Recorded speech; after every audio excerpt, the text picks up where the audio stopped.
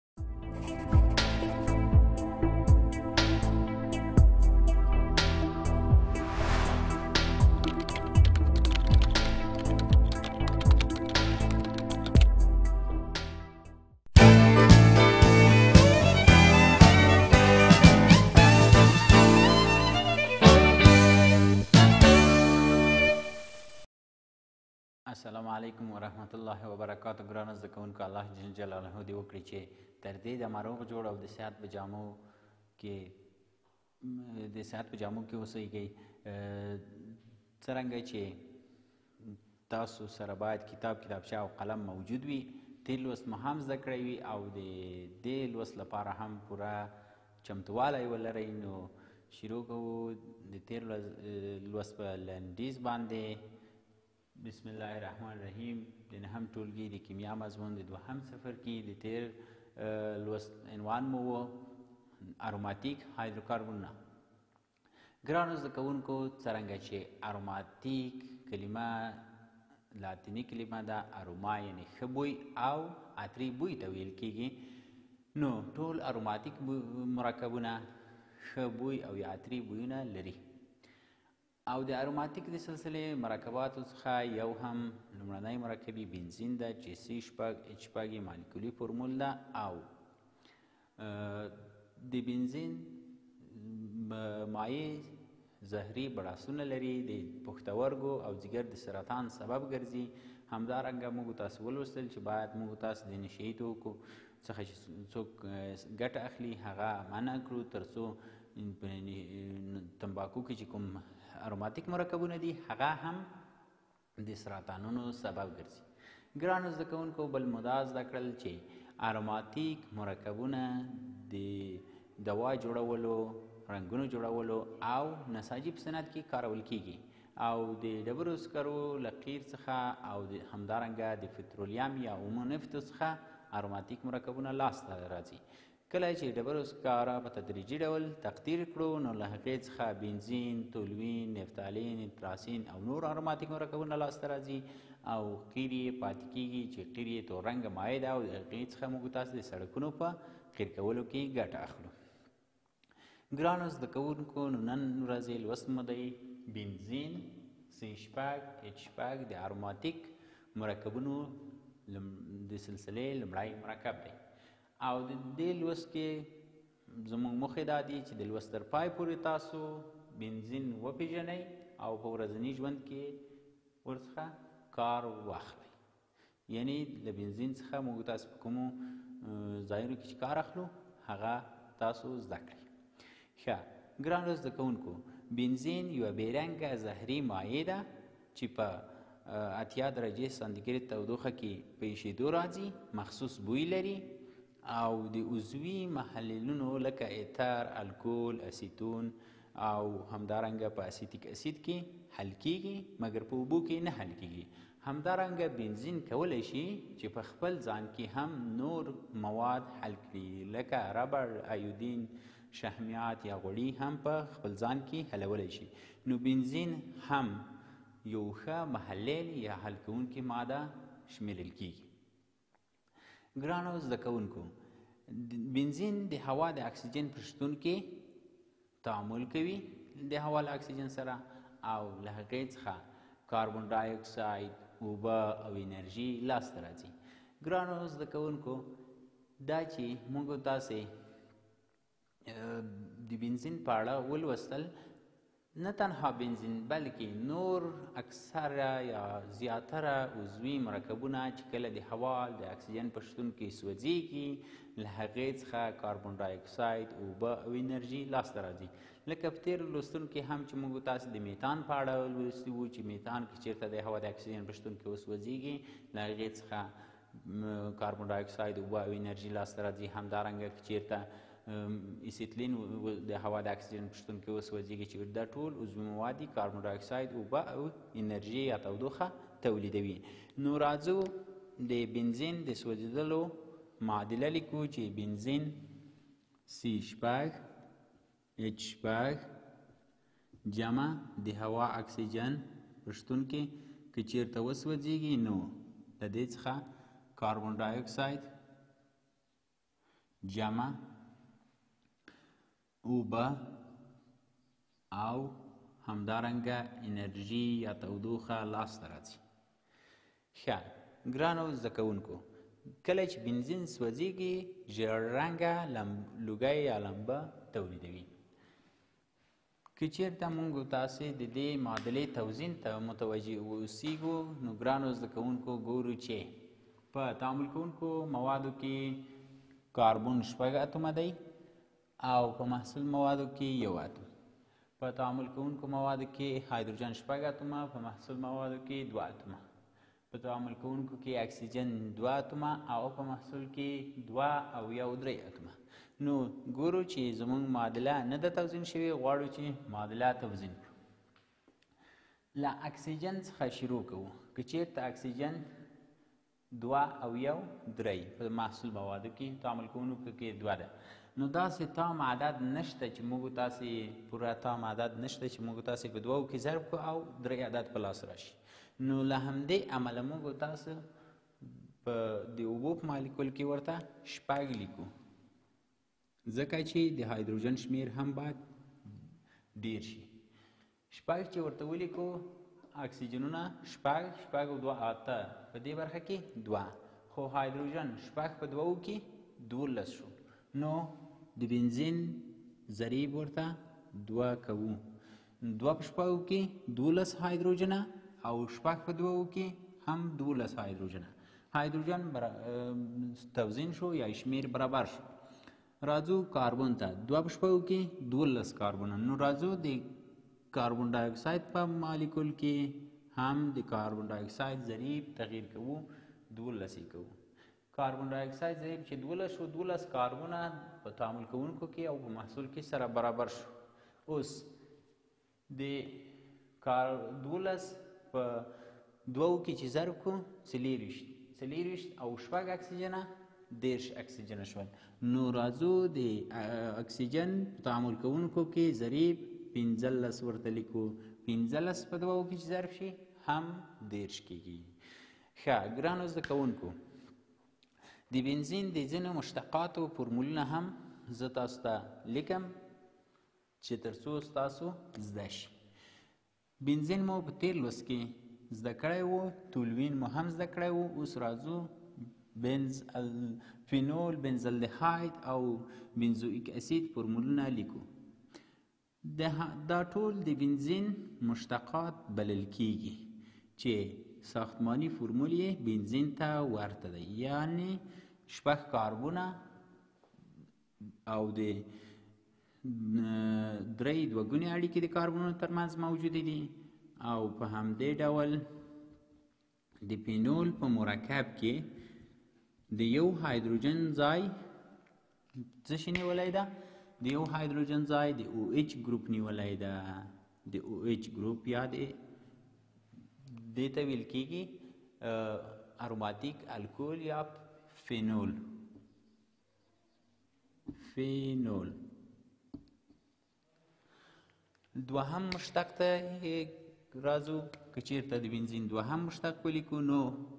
همغه د بنزین فورمول تکراریږي شپږ کاربونه د درې دوګونې اړیکې درلودونکي او په همدې ډول د هر کاربون د هایدروجنونو سره هم اړیکې لري چې د شپږ هایدروجنونو پر ځای پنځه هایدروجنونه همغه خپل د بنزین دي او د یو هایدروجن ځای بل ګروپ عضوي وظیفوي ګروپ نیسي نو که چیرته د یو هایدروجن ځای سی اچ او ګروپ یا د الدهاید ګروپ نیولی وي نو دې ته دغه مرکب ته موږ تاسو د بنز الدهاید نوم اخلو بنز بنز الدهاید په همدې ډول ګرانو زده کوونکو د بنزین نور مشتقات هم دي چې د بنزین دریم مشتق موږ تاسې بنزوئیک اسید لرو هغه هم شپږ کاربن لرونکی چې درې دوګونې اړیکې او پاتې نورې اړیکې د هایدروجنونو په واسطه پوره شوي دي خو یو هایدروجن یې د عضوي تیزابونو له ګروپ سره تعویز یا عوض شوی دی که چیرته د یو هایدروجن ځای باندې د سي ډبل او ایچ یا د کاربوکسیلیک ګروپ شتون ولري نو د دغه مرکب نوم دی بنز بنزوئیک اسید بنزوئیک بنزوئیک اسید یا اروماتیک تیزاب هم ورته ویل کیږي ښه ګرانو زده کوونکو راځو د اروماتیک هایدروکاربنونو دوهم مرکب چې نفتالین بلل کیږي نفتالین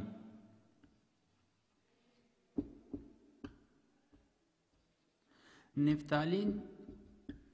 مالیکولی فرمول یې سی لس اچ آته ده سی لس اچ آته دا یې مالیکولي فرمول دی او ساختماني فرمول یې د بنزین دوې حلقې سره څنګ په څنګ وصل شوي دي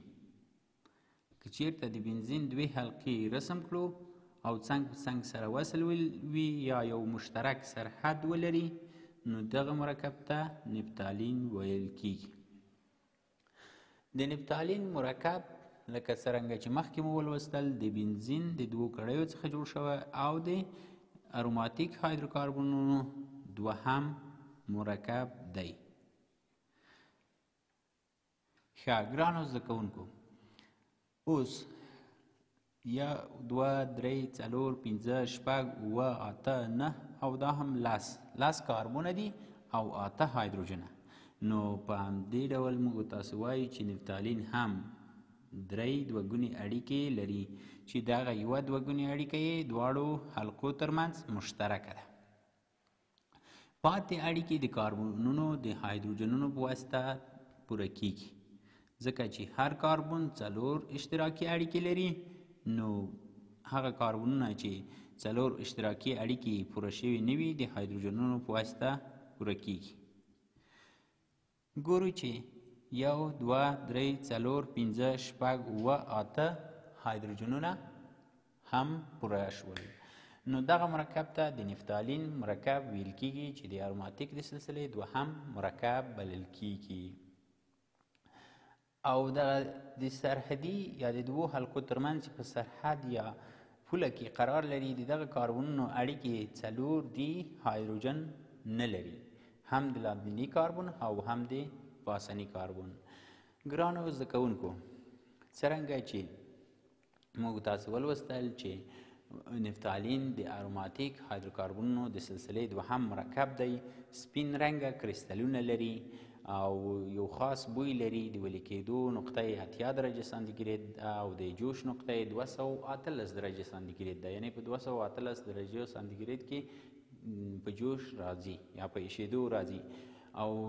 د تشنابونو کې د بدبویي د لرې کولو لپاره استفاده کیږي همدارنګه دغه د نپټالین مرکب چې ده د کووي د لاروا د لمنځه وړلو لپاره هم کارول کیږي ګرانو زده کوونکو د نپټالین مرکب کریستالونه چې تاسو په دې شکل کې ګورئ